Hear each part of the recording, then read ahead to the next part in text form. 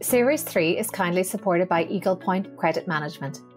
Eagle Point Credit Management is a specialist investment manager principally focused on income oriented credit investments in niche and inefficient markets. Founded by Thomas Majewski in partnership with Stone Point Capital in 2012, Eagle Point currently manages over 7.8 billion in AUM. Investment strategies pursued by the firm include collateralized loan obligations, CLOs, portfolio debt securities, and other opportunities across the credit universe. Currently, Eagle Point is the largest investor in CLO equity in the world and one of the largest non bank lenders focused on providing financing solutions to credit funds. You can learn more about Eagle Point at eaglepointcredit.com. What are some of the unintended consequences of the bank crisis? Why is superintelligence sometimes overrated? And what are some of the trends we are overlooking today? Find out next.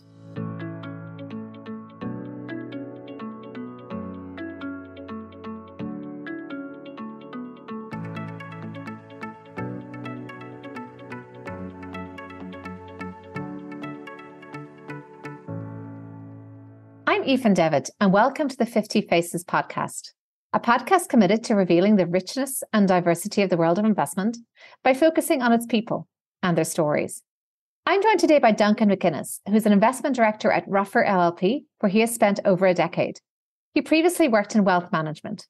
Welcome, Duncan. Thanks for joining me today. Hi, Aoifinn. Thanks for having me. Well, let's start with your background and career journey. Can you talk about where you grew up, your early interests, and how ultimately you came to enter the world of finance and investing? Yeah, so I'll, well, I'll try and make my uh, background as interesting as possible. I grew up in a place called Motherwell, which is just outside Glasgow, where I went to school and uh, university, and that's in, in Scotland, for those of you that don't know. And in high school, I would say that I was a capable student, but but somewhat lacking in motivation and direction. I mean, really for me, it was all about sports, friends, computer games, that sort of stuff. And only because it was quite a good school was I sort of handheld through to university. Otherwise, Lord knows where I'd have ended up. And when you mentioned sport, was there any particular sport that motivated you more than others? Anything that captivated yeah, you? It was always rugby for me. I'm not sort of I'm not built for ballet, so so rugby, rugby worked quite well, and played that from the age of sort of seven through to the end of university. Right. So we'll, we'll come back to that maybe just to see in terms of lessons learned. And then when it came to choosing a discipline or a direction, how did that pan out? My family are medical, lots and lots of doctors on, on my dad's side. And the advice from them was to not be a doctor and in fact how about suing doctors? So i was i was steered towards law because i liked an argument and i was relatively verbose as we'll all find out. And uh, so i ended up doing law at university or reading law at university. But actually all that taught me was that I didn't want to be a lawyer. I, I, realized very, very early on in my legal degree that this was not for me that it's not like the law that you see on the TV. There's only only very few lawyers get to stand up in court and pontificate. So I, I, really did not enjoy my degree. And the only thing that, that came, the only positive that came from it is my wife, who, who I met, met at university and we're sort of still together as far as I'm aware. And then in terms of, I'm certainly one can pontificate in investment, I suppose that goes with the job. How did you then find yourself applying to investment roles? Did you find your legal skills enhanced yeah. your aptitude so it was there? A very, a very meandering journey. So I, I really, all I knew, like I said, is I didn't want to be a lawyer. And then in the summer of second year after of university, my dad died fairly suddenly from a sort of aggressive cancer. And my mum, they were separated, long divorced at the time, emigrated to the UK in the same week. So it was it was a pretty traumatic week. And that sort of jarring experience, I think, forced me to grow up quite a bit and actually to take ownership of financial affairs to a degree that I hadn't before then. But in terms of what came next, so I sort of survived the rest of university. And I ended up at the end of university being a sort of you know decent student with a decent degree from a, a decent university. That was Glasgow University. So without a sort of burning vocation or actually any really useful work experience, which, you know, if you even brought that forward to today, it would be almost impossible to get a good graduate job uh, in 2023 with that CV. But back in 2007, so we're talking about then, it was still difficult. And so what I did was the only reasonable strategy was spray and pray. So I applied to everything you could imagine from Unilever to Tesco to MI5 to the big four accountants, investment banks, legal firms. And I had a legal traineeship lined up actually when I got a job at Barclays. And I have to be honest, I was totally cynical about it because I didn't know anything about what I wanted to do. I ditched the legal job and took the Barclays job because the money was a lot better. It really, it really was as as simple as that.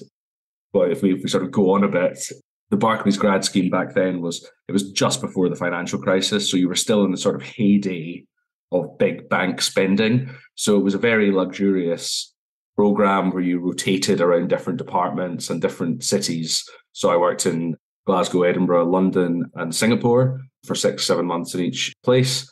And it was only when I got to Singapore that I sort of fell in love with something, and that something was was markets. It was a really interesting time to be working and learning about financial markets because the job began two weeks before Lehman Brothers went bust. and I, I, think I moved to Singapore in Q1 2009, I think it was. So that was pretty much the exact market bottom post financial crisis. So yeah, I had this formative experience of financial markets driving everything that was happening in the world, you know, being the focus of everything and getting to be, although incredibly junior, right at the coalface of that. So this idea that in financial markets, you could have a thought or an insight. And if that if that is proven correct, you get to make money from it was just so sort of exciting to me. And it sort of feels like the biggest and best game in the world, played by you know lots of clever people. So all of a sudden, having gone from having no direction, I had this thing that I really, really enjoyed. And for me, it sort of became tunnel vision from that point. It's really interesting. A couple of points there I'm taking away. First of all, is it's good and instructive that one doesn't need to have necessarily a storied university career full of medals and awards because I think not everybody does. I mean, especially yeah. the graduates coming out today with who may have had a very sidetracked university experience. Equally, those graduate schemes are fantastic. I think they still offer amazing opportunities, especially those with global rotations. And yeah. I also spent time in Hong Kong in my early 20s, and I found that there's something about Asia that makes it very immersive. Maybe it's the very concentrated nature of those cities, the fact that you know you're surrounded by skyscrapers, surrounded by yeah. markets, by retail investors, sucking yeah. up every piece of information. It is the ultimate immersive game, if, if you think of it. And in, very long days as well in Asia. I mean, that, that's what I sort of remember was that I would start at, I think I started at 7 a.m. and people would take long lunches, but they would work until six or seven and they would often go for dinner and then come back to the office. So I think it was maybe something to do with the fact that people have small apartments in Hong Kong and Singapore, but actually the office was maybe a more enjoyable environment to be in. So people worked really long hours, which, like you say, made it very immersive and, and collegiate. And you were in private wealth at this time, is that correct? Or did you ultimately uh, yeah. move to private wealth? So I was hired for Barclays Wealth, which was the private bank of Barclays. And the intention of that graduate program was that you would end up as a private banker. The rotation to Singapore was into equity research. And that was when I sort of realized that I wanted to be closer to the coal face of investment decision making and investment research than the client side. And if we take it forward then into what's on your mind today. So Ruffer is known to have a multi-strategy approach. It's known to have a wide variety of investment views, some of them contrarian. As you look out, we're recording the second quarter of 23. What's on your mind now? What's at the, I suppose, the forefront of your mind as you look to markets? What's obsessing yeah. you today? So, for those of the listeners that, that don't know, very brief history of, of Ruffer, the business began in 1995 from sort of humble beginnings with a shared office with another firm. We've grown to 26 billion under management for a whole variety of clients from private individuals through to sovereign wealth funds all over the globe. But for those all those different client types, we're doing one thing, and the one thing is trying to build an all-weather portfolio, so global, multi-asset, totally unbenchmarked, go anywhere, uh, which, uh, as you say, leads us occasionally to contrarian or interesting positions. And I think reputationally, we're known as bear market operators. So we've done particularly well in the crises. So we made money in the dot com crisis, we made money in the financial crisis, and we made money in the COVID crash. And then in 2022, where almost everything fell as well. So that's really forged the reputation of the firm. But over the long term, we've actually we've outperformed the stock market and we've done it with with less risk and less volatility. But I think the biggest difference between us and conventional asset managers is that most investors start from a position of return maximizing. You know, how can I make the most money? And then maybe I'll sprinkle some hedges around the outside of that to try and mitigate the downside.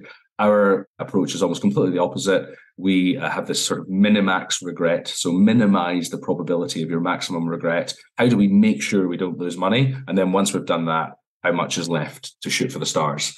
So bearing all that in mind, how do we look at 2023?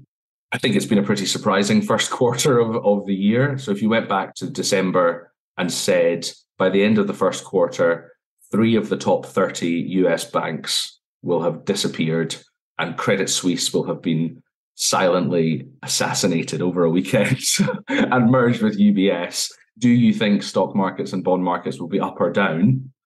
I think most people would have said that sounds like they're going to be down quite a lot. And in fact, they're actually pretty substantially up. So I think the big question, the live issue, is whether or not this is a banking crisis. And if it is a banking crisis, to what extent it looks like 2008, and I think the headline is it doesn't look like 2008. It's not a global financial crisis. We don't need to worry about Alistair Darling saying that the cash machines were going to run out of money. But that doesn't mean that we shouldn't be very worried about what's happening here. So I think this is quite a the acute phase of this crisis has probably passed, but the chronic phase could go on for quite a bit longer. And the problem at the center of this that we see is that central banks and governments have a very, very difficult choice at the moment because they have competing goals. On the one hand, they want to focus on financial stability, but they also have to manage monetary stability. And monetary stability effectively means inflation. And if you try and fix financial stability by posing the banks with money to make sure that they survive this, then that exacerbates the inflation problem.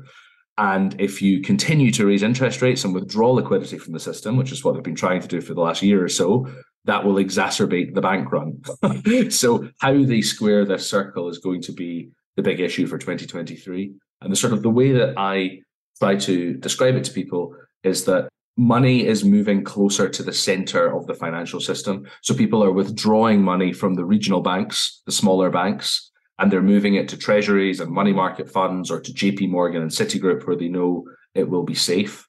But the closer the money moves to the center, the less monetary energy or velocity it has. And that reduces the risk taking capacity of the financial system as a whole. Now, every individual is acting rationally here. So even though I don't think people have to worry about the safety of their deposits, the truth is, is that you can earn more in a money market fund than you can in the bank and you don't have to worry about it. So why wouldn't you do it? But if everyone, it's a sort of tragedy of the commons, if everyone acts like that, then it creates a really big problem. And it's that reduced risk taking capacity of the system. And specifically, it's the smaller regional banks that do lending to the real economy. So small and medium businesses, commercial property, these sorts of things. And that we are seeing day by day as the data comes out is having a real squeeze at the moment. And that could be quite concerning and potentially will tip us into recession this year. Really interesting analysis. And I like your acute versus chronic analogy. Clearly, once born into a medical family, you will always have that with you, the medical analogies, having been in a medical family myself. But I'd love to say that that's a very fairly big idea out there. And what, one of my next questions was around anything that we're overlooking or perhaps not fully appreciating in today's markets. And Ruffer, as I mentioned, you know, was early perhaps into gold and into other kind of commodities at the time. So if we do the thought experiment of taking that centralization of, uh, of money and the lower velocity to its logical conclusion, where do we go from here? What are some of the scenarios? And maybe we talk a lot about things breaking. And maybe yeah. this wasn't the thing that broke. But you know, so there's, could there's anything else break? Idea, there's this idea that when the Federal Reserve raises interest rates, it tends to raise interest rates until something breaks. So there is now a, question as to whether the thing that breaks, whether that was Silicon Valley Bank and Signature and Credit Suisse, it's hard to say. So I, I like to think of these things. You think back about the financial crisis and you think of it as an event, but it wasn't really an event. It was a process. So over the course of two years, you had Northern Rock, then six months until Bear Stearns, then another six months until Lehman Brothers, and then another six months until the stock market bottomed in March 2009. So perhaps Credit Suisse's Bear Stearns, but I don't think it's Lehman Brothers and I don't think it's the bottom. So I think there's potentially more things to break. But what I would say in terms of what people can do about investing is that none of this stuff is good news that I'm talking about, but actually, it would be okay if it came with low asset prices. So there wasn't much good news in March 2009, but it was still a phenomenal time to invest. Unfortunately, there's lots to worry about at the moment out there. There's the banking crisis, there's the risk of recession, there's the war rumbling on, there's China making noises about invading Taiwan, there's commodity and wage pressures, there's taxes going up. But if asset prices were cheap, I think you could still find a way to get excited about things. But unfortunately, they're not particularly. Risk premiums, which are sort of the additional return that you earn above cash for owning riskier assets, are pretty low on average. So it sort of provocatively, I've been saying to clients, why take risk if you don't have to? So at the moment, you can earn 5% in US dollar cash in a money market fund or a very short dated treasury bill. And if you look at the earnings yield on the S&P, the S&P 500, it's also 5%. So the stock market is subject to all of those vicissitudes and uncertainties that I mentioned. Cash is subject to none of them, apart from inflation. So really, I don't think you're being compensated for taking much risk. Our view would be that later in the year, you probably get the reality of recession, you get the consequences of this liquidity being withdrawn from the system, and our base case would be that the stock market revisits the lows of, of last year. And that might be the buying opportunity because I think you will get ultimately a government response, sort of fiscal policy response to try and get the economy going again from recessionary lows. But we probably have to feel more pain between now and then. Really interesting. And just like the SVB woes could maybe be said to have been hiding in plain sight. I mean, it wasn't any secret that interest rates have been rising and that they've been forced into buying so called low risk assets, which, as we know from the UK, low risk government bonds can be less low risk than, than we think in these yeah. extreme events. Would you say there's anything else kind of hiding in plain sight can we take hints from the stock market, the bond market? The bond market doesn't seem to believe the Fed with this inverted yield curve. Mm. Equally, on the equity market side, tech stocks have been doing very well despite a lot of bad news and negative utterings there. So, what's actually going on? And are we missing something large? Yes, I think so. I think that first point you made about low risk assets is very important. So, what we sort of all learned to focus on was counterparty risk. And so you buy government bonds, you have no counterparty risk, so it's a low risk asset. What everyone overlooked was duration risk, the sensitivity to changes in interest rates. And of course, very long dated government bonds come with lots of duration. And the long dated inflation linked bonds, which are so important to the UK pension industry, fell 70% last year. They were down more than Bitcoin. so, so these were revealed to be much riskier than people thought. And full disclosure, we held some and still do. I think the risk hiding in plain sight and is being discussed, but I think is still underappreciated, is that the entire institutional asset management industry, pension funds, charities, endowments, and so on, have increasingly been drawn to illiquid assets over the last decade or so. So, private equity, venture capital, private credit have become the flavor of the month. And I think there is a reckoning coming for these assets. Now, that's bad news for investor portfolios. The good news is, is that I think to go back to the phrase of acute versus chronic, that's a chronic problem, not an acute one. The benefit of the opacity and illiquidity is that I think these losses will be realized over a very long time. But I, I have pretty high conviction that there will be losses and they will be realized. But what you won't have is the sort of cataclysmic down 50% that you've seen in some of the profitless tech public companies. Instead, you'll see a, a slow motion bleed over quarters of, you know, down 5%, down 5%, down 5%. And then in five years' time, 10 years' time, we'll look back and we'll say the vintage of illiquid and private investments from 2019, 20, and 21 were pretty poor. They were bad investment decisions but it will take a while for that to be borne out. And another question I just want to ask about while we're on this fascinating topic, uh, you know, philosophical topic in terms of what investors are focusing on. in tech, there's that old adage that we overestimate in the short term, underestimate in the long term. And it seems with some of these big events, whether it be energy transition, there's a lot of concern now. I'm based in the US around will the US dollar continue to be the reserve currency? These are sort of long term, perhaps, changes that sometimes get brought forward into short term concerns. Do you think there's anything out there that we're perhaps worrying too much about today that is longer dated and, and it will play out later? And something that mm-hmm. maybe that it is a large, big structural change that we need. That's a good question. I think two things. I think one you mentioned, de-dollarization does seem to be the topic du jour. So every meeting I've done in the last few weeks, that has come up. It definitely feels to have sort of caught the narrative zeitgeist. And there have been various announcements from foreign governments of trade between nations. You know, I can't remember who the specifics were, but India is buying oil from the Middle East and they've decided to denominate it in gold or in yuan rather than dollars. So I think the direction of travel, the desire for de dollarization from Asian economies or economies that the West would deem bad actors is clear. That will happen over time, I think. But I think that's something that's currently somewhat overblown. So the reality is is that the dollar is the only game in town when it comes to a global reserve currency. So much of global debt outstanding is in dollars. So, you know, if you want to prove your credit worthiness or if you want to deleverage, you need the dollars to do it. So I, I think that that is a trend that will be live for the next decade. But the idea that we're all going to sort of switch to buying our oil in Bitcoin or gold or yuan tomorrow is probably not going to happen. And then maybe another trend that is exaggerated, and we're very much talking our own book here, is the, the demise of fossil fuels. So the energy transition is an inevitability. There is a huge amount of political capital and desire from the population for us to transition. Never mind the fact that it's possibly a scientific imperative. If we'd like to stay on the planet for more than a few more decades, we will need to transition the economy off fossil fuels. However, the reality is is that that will probably go a lot slower than the hardcore ESG proponents would like it to, and that fossil fuel demand, oil demand globally is still growing. And that's because emerging markets continue to grow, global GDP continues to grow, everyone wants an air conditioner, everyone wants a car, etc., etc.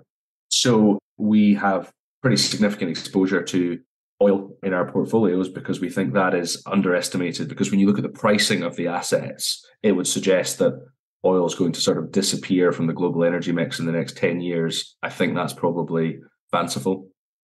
Well, I could talk all day. We could go all around the asset pie chart and it would be fascinating.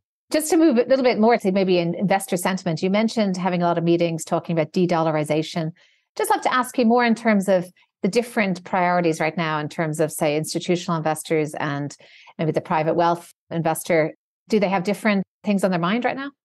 No, I think I think broadly we're all wrestling with that same sort of menu of challenges: war, inflation, recession, interest rates, narrow risk premiums. But as a generalization, I would say that the biggest distinction is that institutional investors focus upon benchmarking relative returns, career risk, not being willing to stick their head above the parapet on certain issues. Individuals, private wealth, worry more about preservation of capital, protection against inflation, and being able to sleep well at night. So I think philosophically, there are sort of differences there.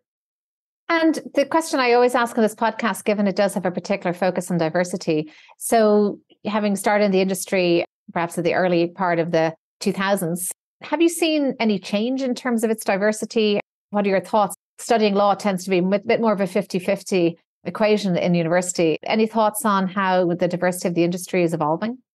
I would probably make a distinction between Ruffer and the industry, although acknowledge that both have more to do. I think both are heading in the right direction, but there's more to do. The industry has undoubtedly improved, I think, since 2008 when my career began uh, in terms of diversity of social class, gender, ethnicity.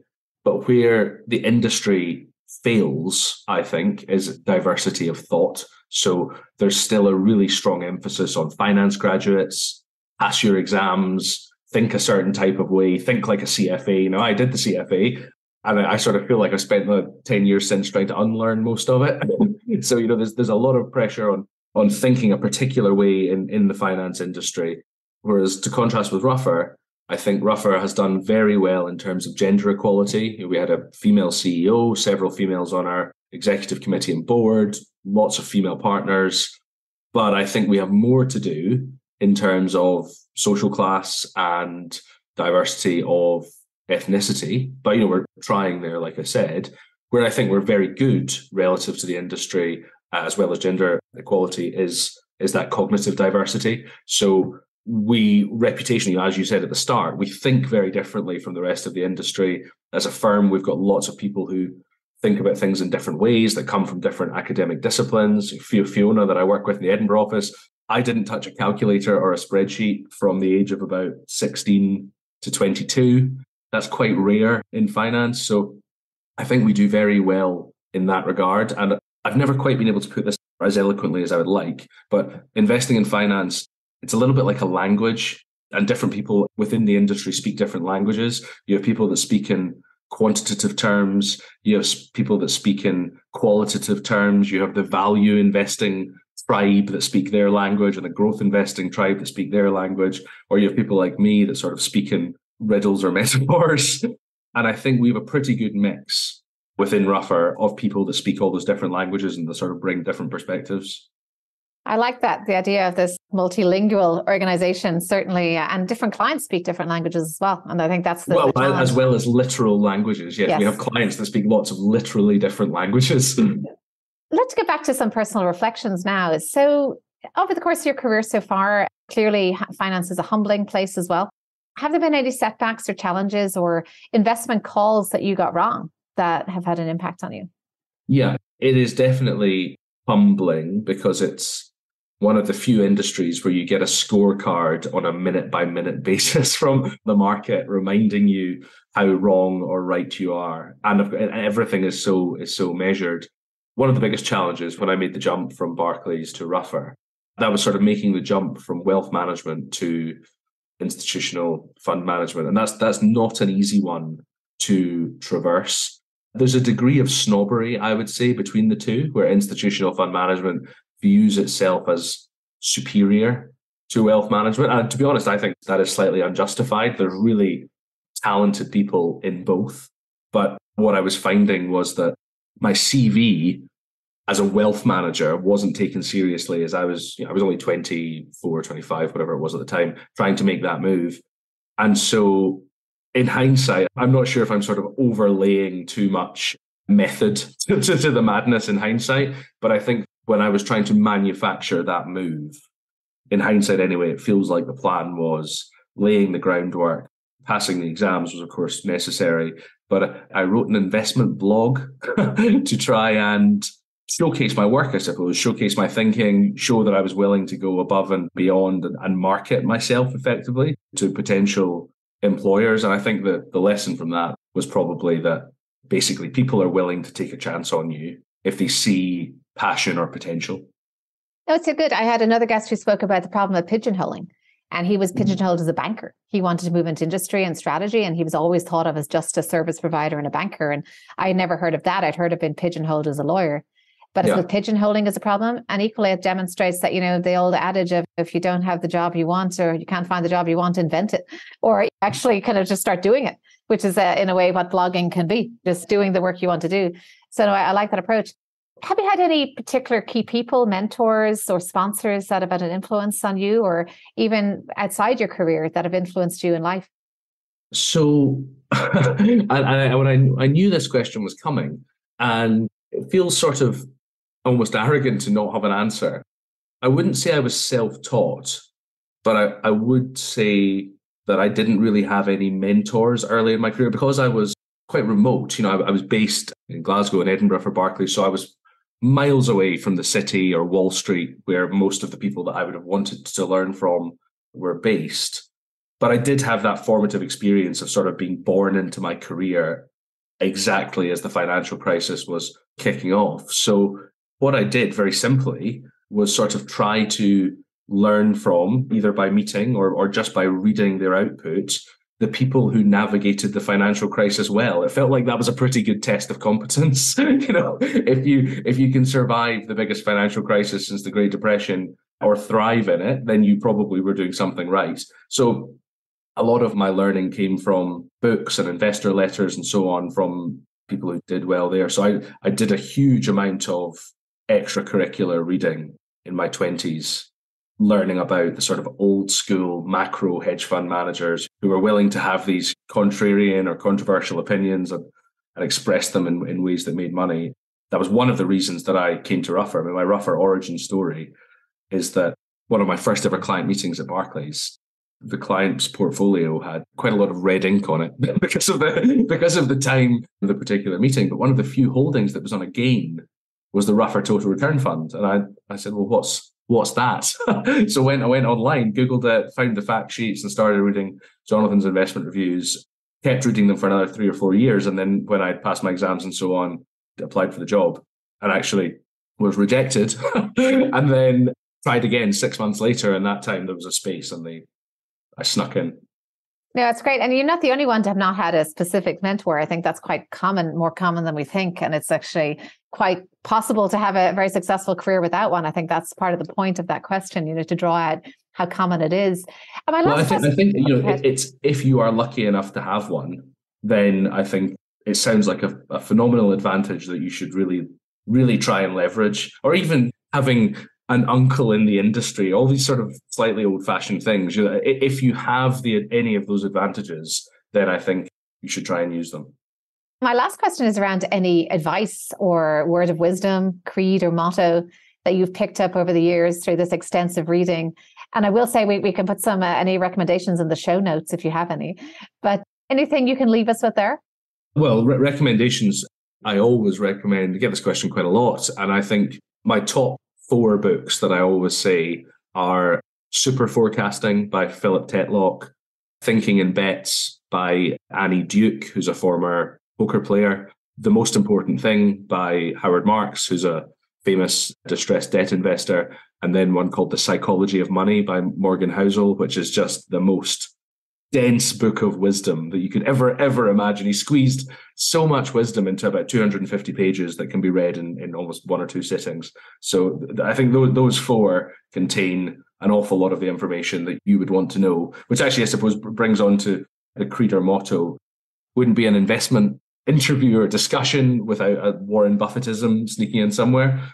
And I think his business partner Charlie Munger actually was the one the one that said it's remarkable how much long term advantage people like Warren and I have gotten by trying to be consistently not stupid instead of trying to be very intelligent. And I think I think there is a lot to that.